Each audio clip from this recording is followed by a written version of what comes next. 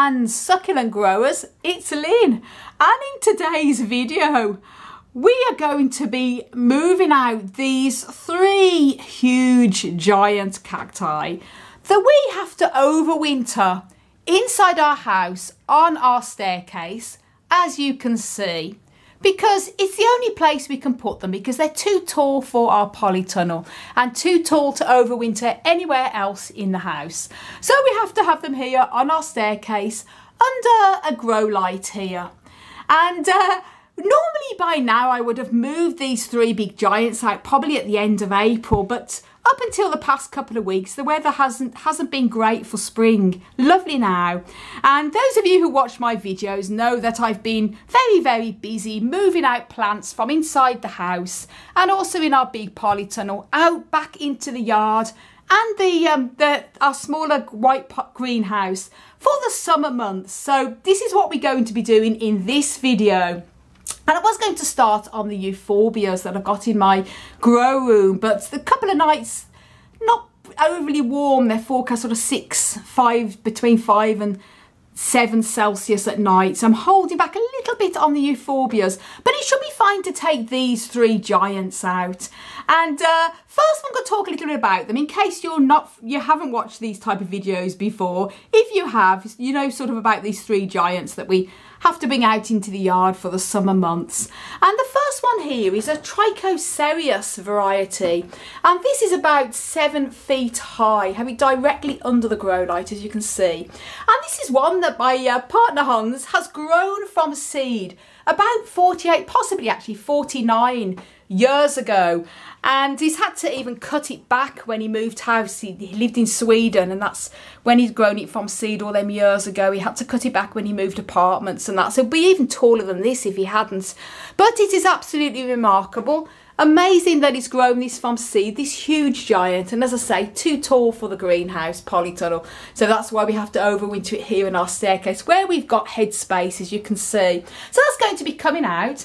The second one here is a twin, um, twin Pilosocereus and uh, very another very old Pilosocereus cactus here and uh, these these type of cacti are not cold hardy and we bought all our other ones out that we overwinter in our other grow room the other day and I did a video when I did so if you want to watch that video do check that video out moving all the Cereus cacti from inside the house and the polytunnel back into the white greenhouse for summer. I'll link that video up above. And I'll also link it down below as well. You've got to watch that. Fun and games. But this one again is, isn't cold hard. They do ideally like a minimum of 10 Celsius, which is about 50 degree Fahrenheit in winter. Um, they can sort of take six, seven, 8 Celsius briefly, but not continuous. So this would be okay to come out. And uh, lovely, this again is about 7 feet high, two in the same pot. And I got this oh, many years ago, probably about 15 years ago, from a gentleman that lived in Dublin, from Howth in Dublin, and uh, he had grown he'd grown this from, and it was a tiny little baby, two in the pot. Uh, so this is very old, Pilosocereus as well, beautiful variety. And then here, oh, this one I love, but it's one that has to be the most lethal to handle. And this is our big, again, probably about seven feet high now, Basilio apuntia basiliensis. And it's a gorgeous opuntia variety that has sort of wavy pads. And these wavy pads almost look like little leaves, but it may look very pretty and it looks more like um, leafy than actually pads, but it is lethal.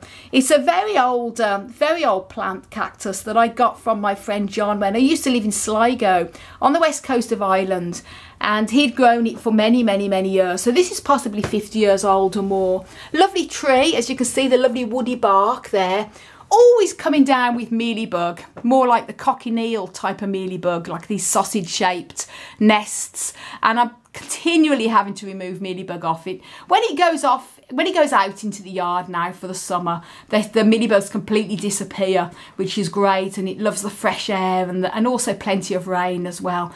As I say, it's a little bit more tropical than the other type of Opuntia, so rain's not an issue for this. And uh, lovely, lovely old cactus that I've had for many, many years. Again, this one is too tall for our polytunnel, so it has to be overwintered here and then brought back out for the spring and summer. And uh, the reason why this one is so lethal is because it has really uh, like thin, thin little spines and uh, also very heavily glochid. So you only have to look at it and you get spiked and they're very hard to get out the skin as well. And I'm happy to say that we've got our wonderful friend Sean who is coming today to help us lift these three giants because I'm a, I'm a girl, guys, and it's too heavy for me to lift. And uh, well, he's in his 70s. He's absolutely remarkable. Got tons more energy than I have. And he's going to be lifting these with our friend Sean because both of them are big, strong men and together they're great lifting these. So what I'm going to do in this video, I've told you a little bit about these three giants and I'm going to film some video clips when Sean arrives with Sean and uh, Hans lifting these giants and also how they lift them because you can't just pick them up from the bottom and take them down. They have to be turned onto the side and obviously your hands have to be protected and everything like that. So I'm going to show you this in the video and then I'm going to show you them when they're outside where we put them. So um, happy days, here we go. Now here, here what we're using here, the these big shopping bags that are great cut up. And this was actually Sean's idea to invent. This is a great invention because we're going to do the big Brasiliopuntia brasiliensis first which is the most lethal one to touch. As they Hans is wrapping uh, the uh, handle the, the handles around with the bag and this protects his hands as they're moving this uh, big beast down the stairs there they are bringing the big big beast down. And so Sean is very, very, very good friend to us to help us out with this. Sean and Hans, the big strong guys here. Ooh. There, yes. And then I take the leader. So, okay. That's it uh, outside. Outside.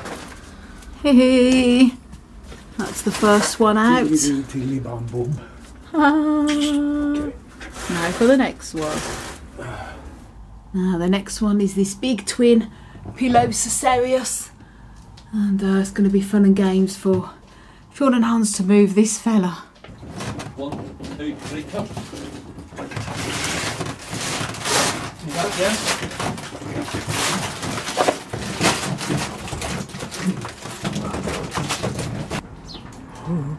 Here it's coming.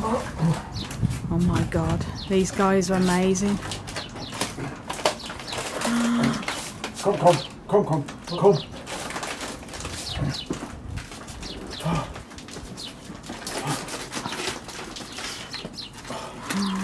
Oh.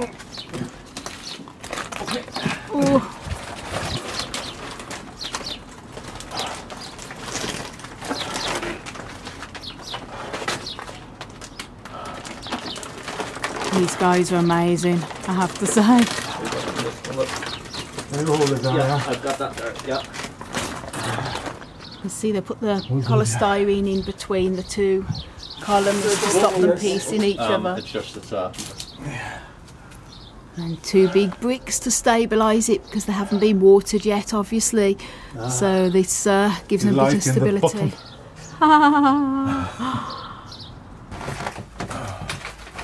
and the last one, the big tall Trichocereus that Hans has grown himself from seed. And he actually said it was 50 year old guy. 50 years.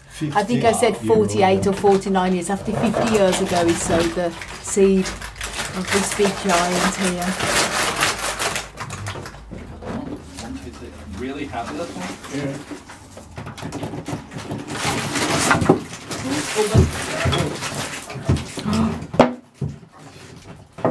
Oh my gosh, what to be guys, this is not an easy job. See it's starting to peek through here now. Gosh, I'm not kidding you guys. This is unreal what uh, Hans and Sean have to do. the top of the big Trichocereus. Oh, I could not do this if I was on my own. And uh, lord. Oh, well done, guys. There we go. Ooh. Oh my goodness. That's them all out. Woohoo! That's the three giants out. Oh my gosh. Yeah. Look at that. Yeah. Oh, look at that, guys. Blood. hurts his, his knee from lifting these. It's, it's as I say, it is not an easy job. R R H minus zero. My blood type. Ah, look at that. Yeah, So no, they're out. they Now, we actually, it was an overcast day, which is why when we brought them out, but it, as you can see, it's quite sunny now, so we're going to Yeah. have to cover them with a bit of shade cloth. But now they are in the shadows. They are in shadow. Now, actually, the sun has gone away, so I think we're going to be okay because it's sort of getting towards the later on in the um, towards the evening, so they should be okay. If you're moving cactus out that's been in the house, you have to acclimatise them by either putting them in a shady position or putting some shade cloth on for the first few days so they get used to the high light levels. These have been under a strong. Grow light, thank you enough. but. Um, obviously now it's shady now and it's getting to the evening anyway so no problem with these they should acclimatise but if it was sunny we'd have to cover them oh my goodness now guys give a massive big thumbs up to Sean and Hans here for lifting these three massive heavy cacti and they are both amazing. And if you're not familiar with with uh, Sean's amazing YouTube channel photography rambles with my camera do go and subscribe to him. Links up above and down below in the video description. And Hansi as well plant daddy links up above and also down below in the video description show your support guys and as I say do give these guys a big thumbs up they have been absolutely amazing to lift these big giants Thank you, love. Thank you. so guys happy days. They're out now. And because it's a it's a lovely beautiful warm day but it's quite overcast as you can see. And also it's coming towards the late afternoon now so the sun has moved away from here. Perfect for bringing these out to let them acclimatise. Because although they've been under a strong grow light it can still be a shock to them to come out into a very sunny bright direct light. But it's I say they'll have a chance to acclimatise easily now because it's more overcast. And also um, tomorrow if it's very sunny we can cover them with some some towels and shade cloth just to protect them for the first few days to let them get used more to the brighter light. Shade cloth sort of is, acts as a bit of a filter so they still get light a bit of sun but not direct sun.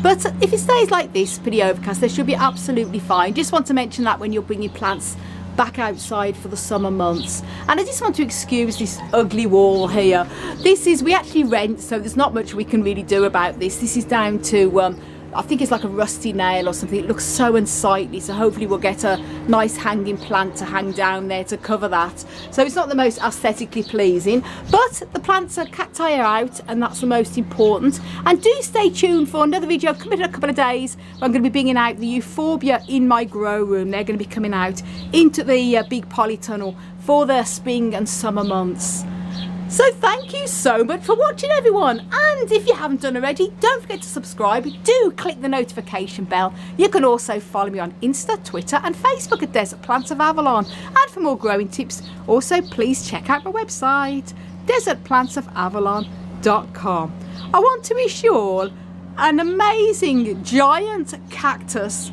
powered day. Oh my gosh. Huge